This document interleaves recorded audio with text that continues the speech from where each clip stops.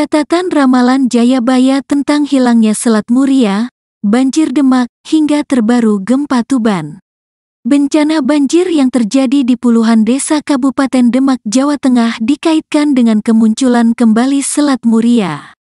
Belum selesai dengan bencana banjir, masyarakat Tuban diguncang gempa bumi pada tanggal 22 Maret tahun 2024 sore.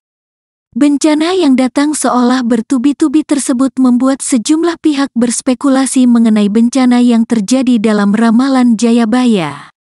Dalam ramalannya, Jayabaya menyebut bahwa Pulau Jawa akan dilanda oleh bencana yang tidak pernah terjadi sebelumnya. Jayabaya adalah seorang raja Panjalu yang memerintah sekira 1135 hingga 1159 M memiliki gelar Abiseka Sri Maharaja Sang Mapanji Jayabaya Sri Warmeswara Madusudana Awataranindita Suhtri Singha Prakarama Utunggadewa. Jayabaya dikenal sebagai raja yang arif bijaksana hingga konon bisa meramalkan berbagai kejadian besar di Nusantara. Ramalan Jayabaya dimuat dalam berbagai bentuk kalimat-kalimat sajak dan sastra yang diyakini memiliki makna mendalam terutama berkaitan dengan masa depan masyarakat di Pulau Jawa dan Nusantara. Berbagai bencana yang terjadi belakangan ini di Pulau Jawa telah menimbulkan banyak spekulasi dan interpretasi, terutama terkait dengan ramalan yang terkenal dari Jayabaya, seorang tokoh legendaris Jawa. Dalam buku Ramalan Jayabaya karya Ahmad Abu Hamid, disebutkan bahwa Pulau Jawa akan mengalami bencana besar. Salah satu sajak dalam ramalan tersebut mengisyaratkan bahwa Pulau Jawa pecah dadi loro, Wong Jawa kari separo, yang secara harfiah berarti Pulau Jawa akan terbelah menjadi dua, masyarakat Jawa tinggal separuh.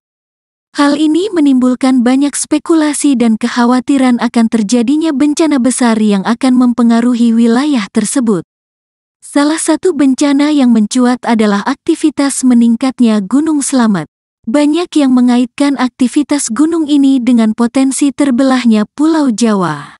Banjir Demak juga menjadi sorotan, terutama karena kemungkinan kembalinya Selat Muria yang sebelumnya mengalami kekeringan.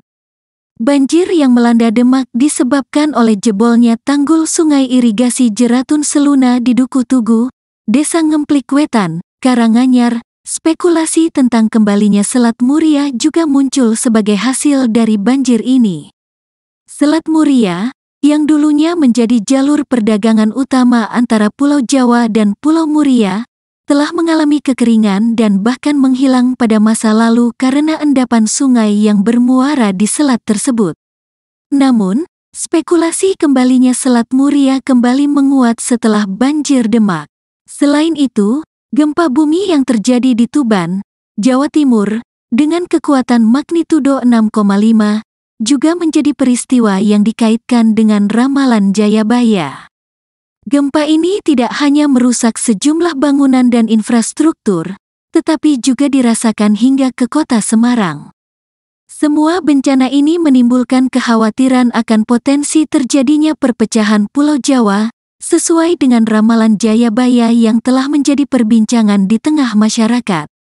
Meskipun tidak ada bukti ilmiah yang mengaitkan secara langsung antara ramalan tersebut dengan bencana yang terjadi, tetapi kekhawatiran dan spekulasi terus berkembang di tengah masyarakat Jawa.